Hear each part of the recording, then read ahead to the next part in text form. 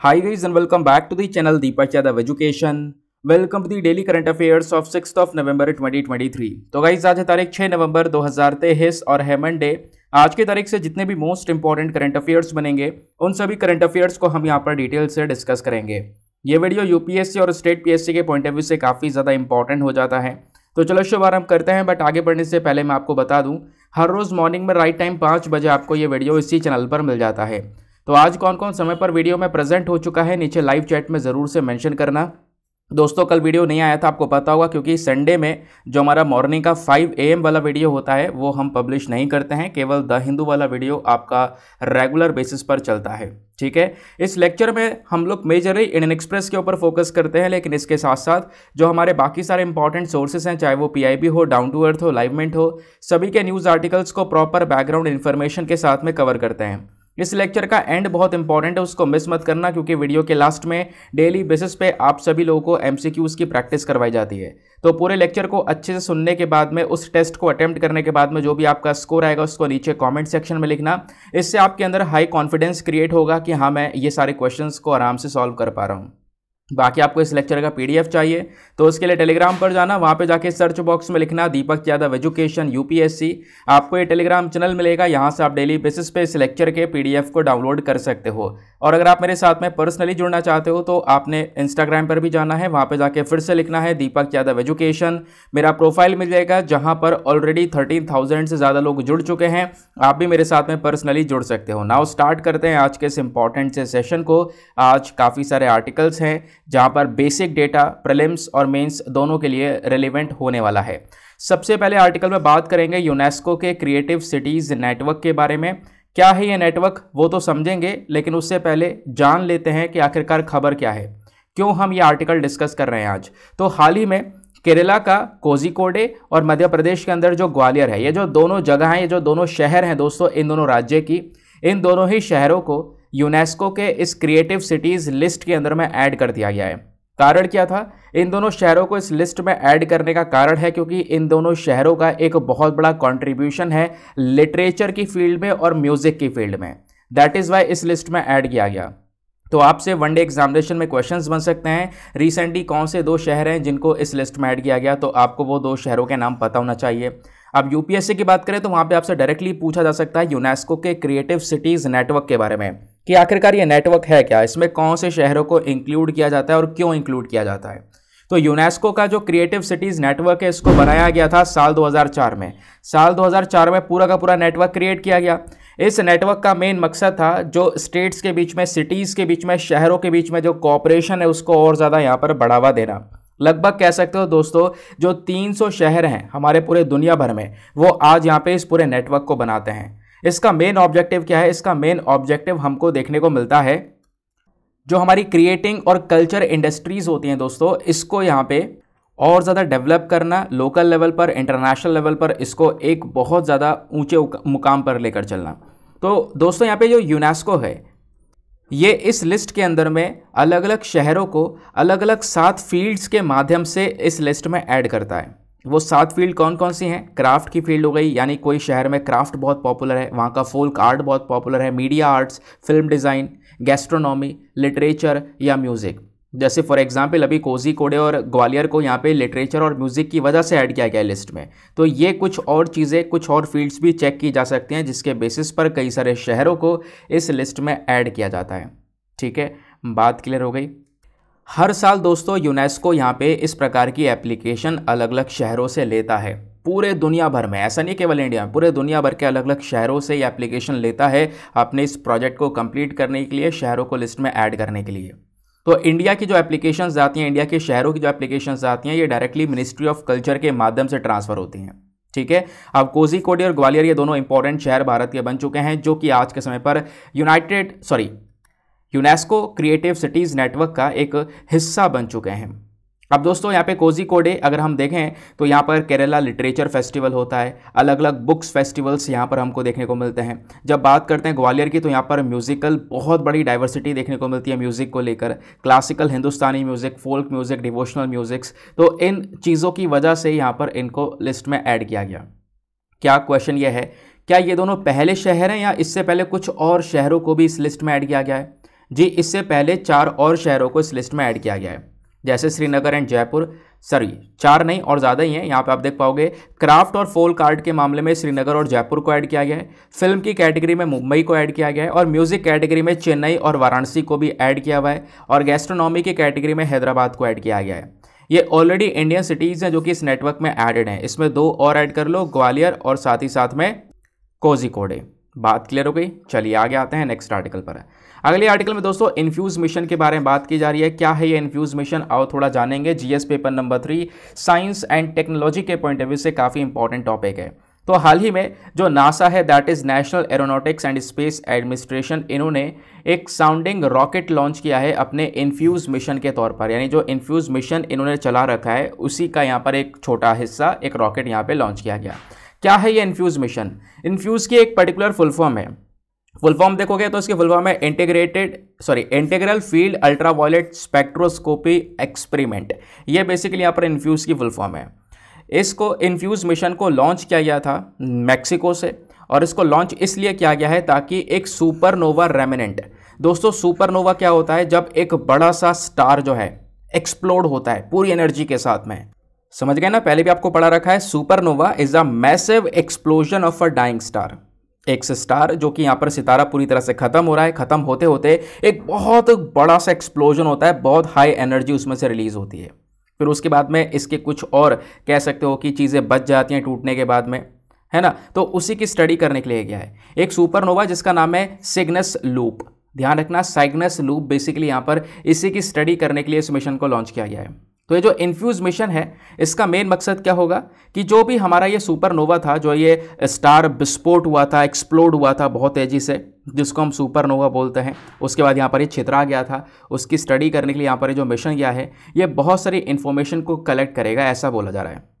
लगभग 240 किलोमीटर की ऊंचाई से ये इन्फॉर्मेशन को कलेक्ट करने वाला है, और भी बहुत सारा डेटा यहाँ पे कलेक्ट करेगा फ़ोटोज़ कलेक्ट करेगा, साथ ही साथ में जो सिग्नस लूप है इसको स्टडी तो करेगा। स्टडी करने के साथ साथ जो हमारे स्टार्स होते हैं, जो हमारे सितारे होते हैं, उनका लाइफ साइकिल कैसे होता है? कैसे सितारा जन्म लेता है, फिर बड़ा होता है, फिर एक्सप्लोड होकर ख़त्म हो जाता है? तो उसकी लाइफ साइकिल को अंडरस्टैंड करने के लिए भी यहाँ पर ये जो इन्फ्यूज़ मिशन है, ये हमारी हेल्प करने वाला है। ठीक है? तो सिग्नस लूप दोस्तों क्या है? सिग्नस लूप बेसिकली जो एक बड़ा सा स्टार जिसको, जो कि विस्फोट हुआ था, उसी के यहाँ पर छोटे छोटे आपको अवशेष देखने को मिल जाएँगे। जो कि यहाँ पर कह सको एक समय पर ये एक बहुत बड़ा स्टार था, जो कि सूर्य से भी 20 गुना ज़्यादा बड़ा था। तो आप इमेजिन करो, सूर्य कितना बड़ा है, उसका साइज़ कितना ज़्यादा बड़ा है, कितना वज़न है उसमें। तो 20 times the size of our sun ये यहाँ पर इसका साइज़ हुआ करता था। तो लगभग बीस हज़ार साल पहले ये जो सितारा है कोलैप्स कर गया। ये एक्सप्लोड हो गया, ख़त्म हो गया अपनी ही ग्रेविटी के अंदर। और जब सितारा एक्सप्लोड करता है तो उसमें से बहुत ज़्यादा खतरनाक एनर्जी निकलती है, बहुत ज़्यादा एनर्जी निकलती है।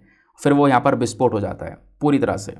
और एक बार जब सितारे में एक्सप्लोजन हो जाता है, या तो वो न्यूट्रॉन स्टार बन जाता है, या ब्लैक होल बन जाता है, या कंप्लीटली डिस्ट्रॉय हो जाता है, खत्म हो जाता है छोटे छोटे टुकड़े छितर जाते हैं उस स्टार के।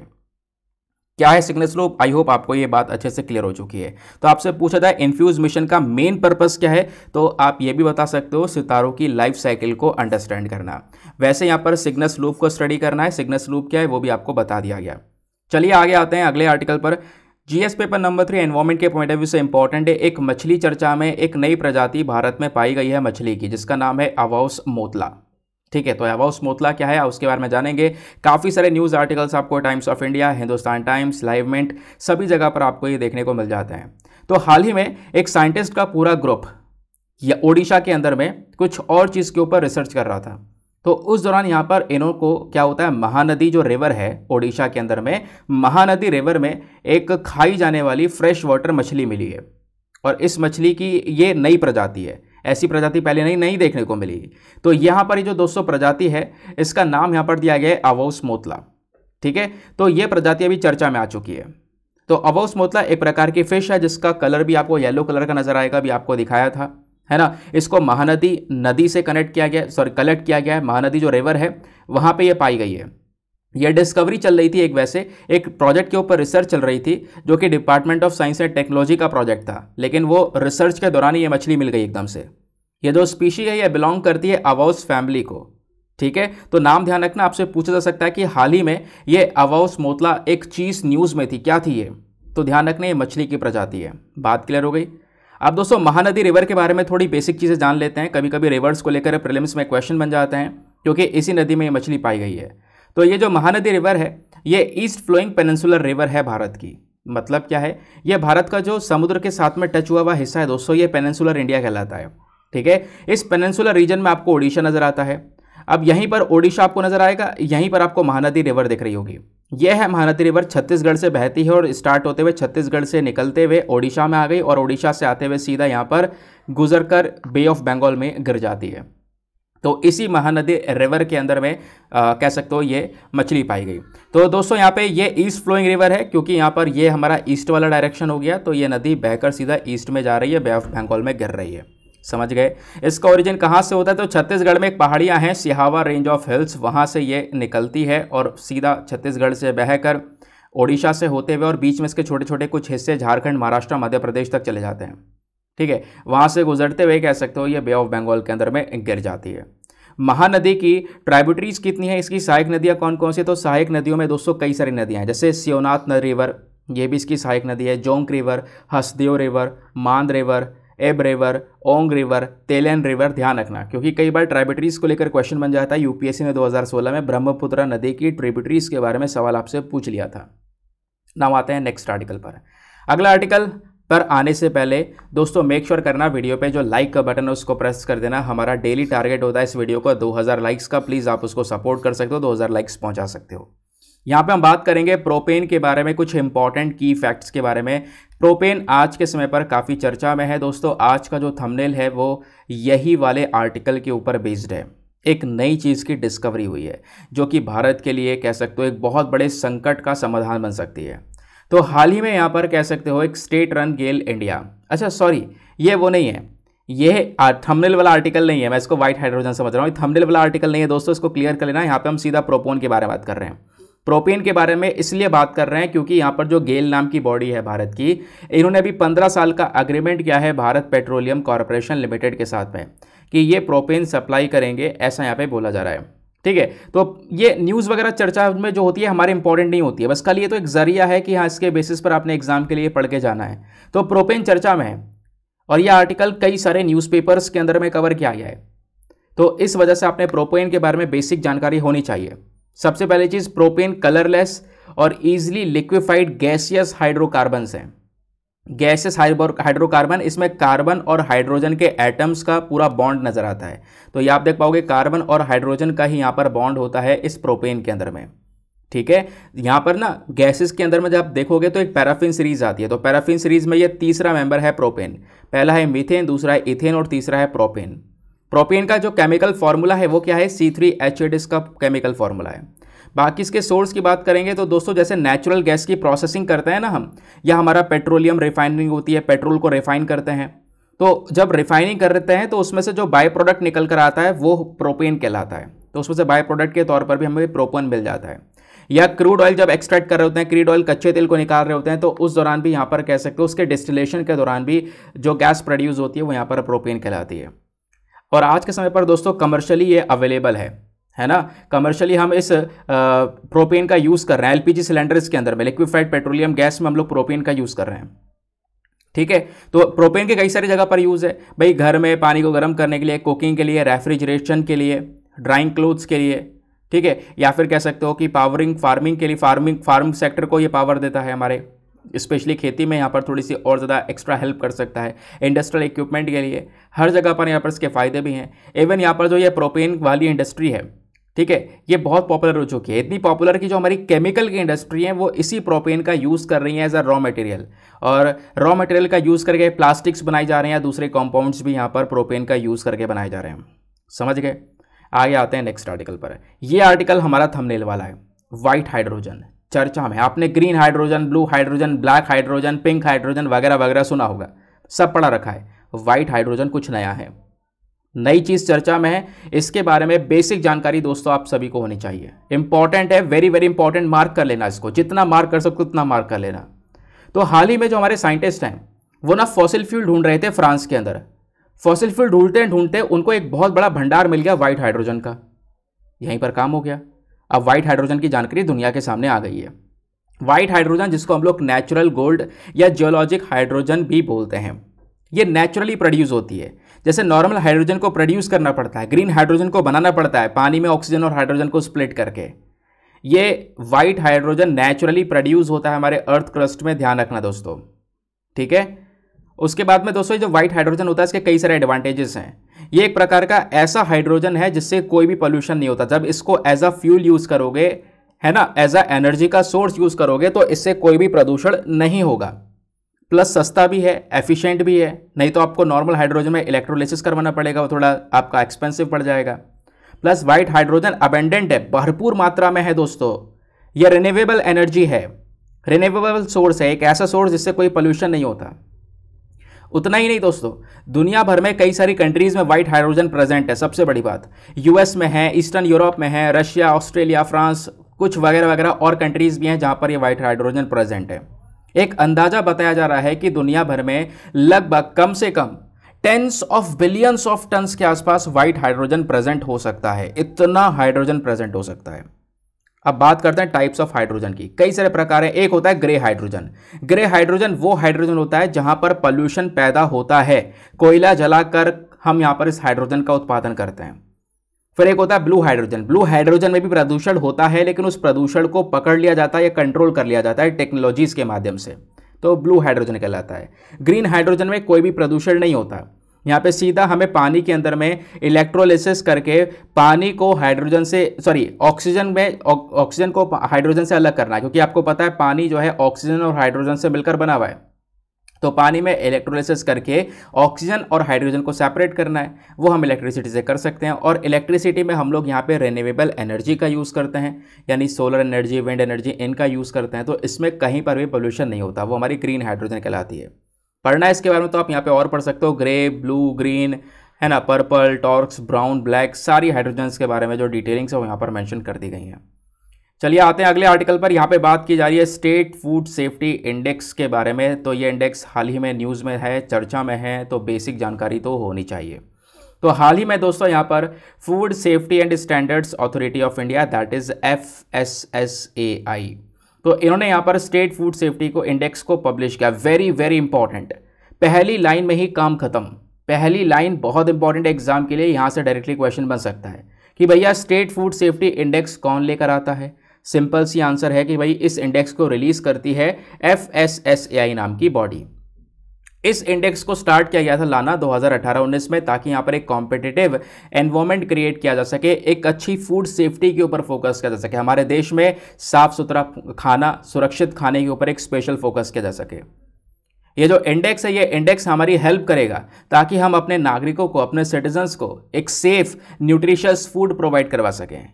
ये जो इंडेक्स है, ये हर एक राज्य यूनियन टेरिटरी के परफॉर्मेंस के ऊपर बेस्ड होता है, कि किस तरीके से वहाँ पर खाना दिया जा रहा है सेफ़ है या नहीं है। उसके बेसिस पर यहाँ पर इस इंडेक्स को तैयार किया जाता है। और कैसे देखा जाता है तो इन सभी राज्यों में पाँच स्पेशल पैरामीटर्स के ऊपर फोकस किया जाता है। उन पाँच पैरामीटर्स को देखकर इस इंडेक्स को रेडी किया जाता है।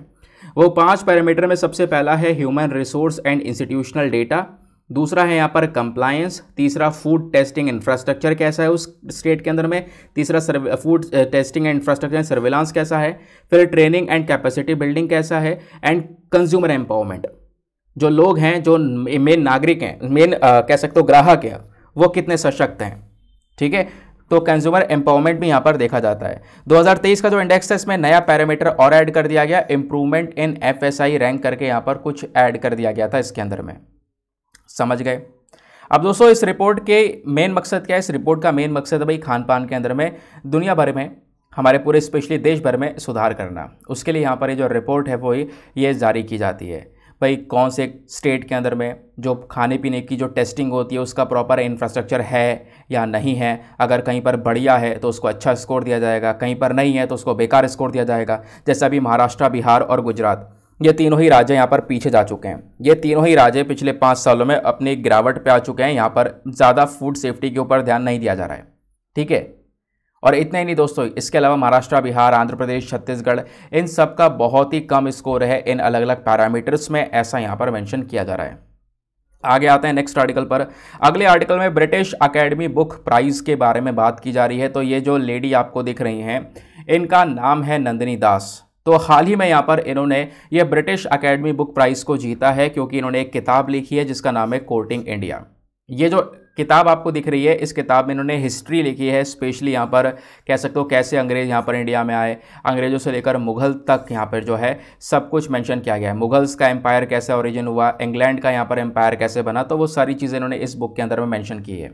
ठीक है? तो इसी बुक के बेसिस पर नंदिनी दास जी को यहाँ पर ये अवार्ड दिया गया है, जिसका नाम है ब्रिटिश अकेडमी बुक प्राइज़ तो एग्जामिनेशन के अंदर में डायरेक्टली आपसे इस प्राइज़ के बारे में बेसिक चीज़ें पूछी जा सकती हैं। सबसे पहले, ये जो ब्रिटिश अकेडमी बुक प्राइज़ है, इसको इतिहास में कुछ और नाम से भी जानते थे। नाम है नायफ अल रोडन प्राइज़ ठीक है? बाद में इसका नाम चेंज कर दिया गया। इस प्राइज़ को 2013 में इस्टेब्लिश किया गया था। इस प्राइज़ को इस्टेब्लिश किया गया है ताकि कई सारे जो नॉन फिक्शन किताबें हैं, ठीक है नॉन फिक्शन बुक्स हैं, उनको यहाँ पर कहीं ना कहीं ये बेस्ट वर्क का अवार्ड दिया जा सके।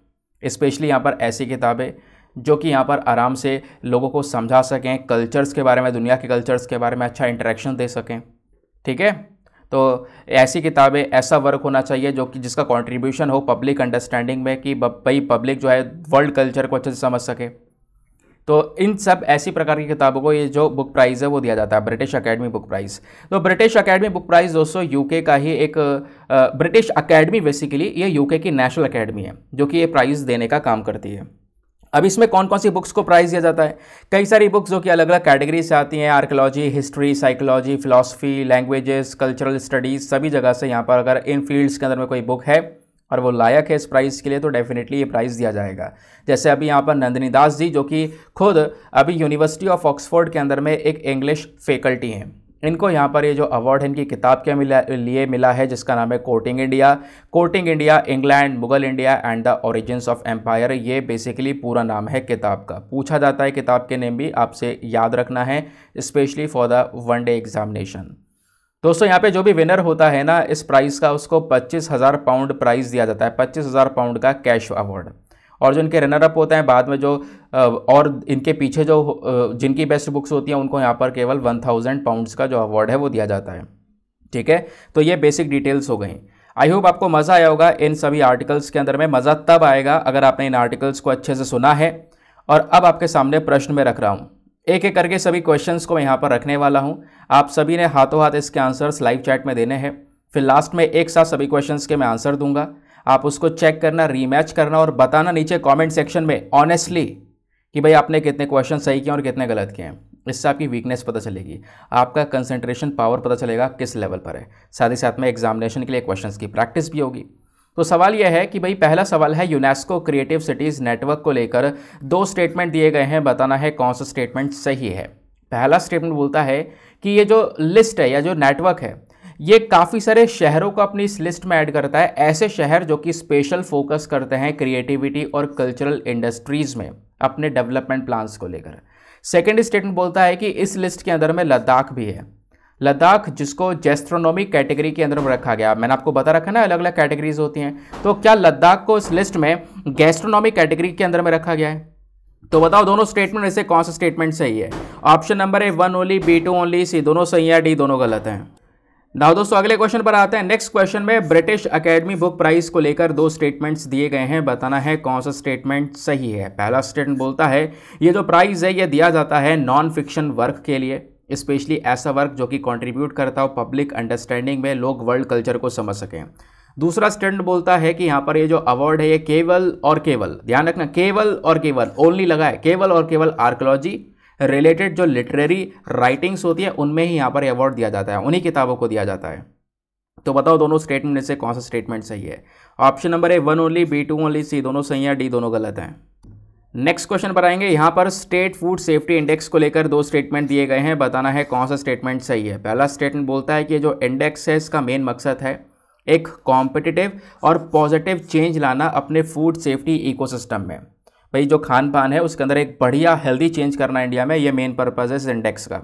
सेकेंड स्टेटमेंट बोलता है कि इस इंडेक्स में कंज्यूमर एम्पावरमेंट भी एक इंपॉर्टेंट पैरामीटर है इस इंडेक्स को तैयार करने में। तो बताओ दोनों स्टेटमेंट में से कौन सा स्टेटमेंट सही है? Option number A one only B two only C दोनों सही हैं या डी दोनों गलत हैं?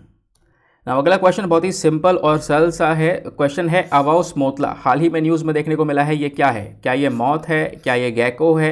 क्या ये फ्रॉक की स्पीशी है? क्या ये फ़िश की स्पीशी है? तो उसका सही आंसर सभी को नीचे कमेंट सेक्शन में देना है।